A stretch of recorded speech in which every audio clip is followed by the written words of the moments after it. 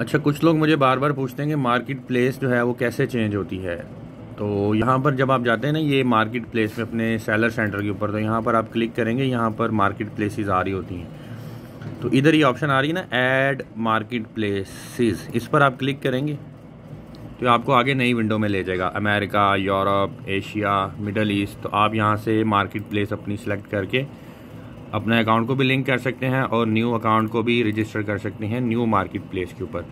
अगर आप यूरोप में जाएँगे, यूरोप का कर सकेंगे, एशिया में जाएँगे गल्फ़ कंट्रीज़ कर लेंगे और मिडल ईस्ट में सॉरी मिडल ईस्ट और नॉर्थ अफ्रीका में गल्फ़ कंट्रीज़ और एशिया में जो एशियन कंट्रीज़ हैं, उनकी मार्केट प्लेसेस आप ऐड कर सकते हैं, जिसमें इंडिया ऑस्ट्रेलिया सिंगापुर आ रहा है और मिडल ईस्ट में आप यहाँ पर देख सकते हैं सऊदी अरेबिया इजिप्ट और यूएई वगैरह होंगे।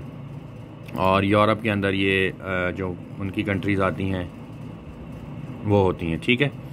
और ये अमेरिका आपकी बाई डिफ़ॉल्ट होगी तो आप यहाँ से सिंपली जाके मार्केट प्लेस से इसको चेंज कर सकते हैं।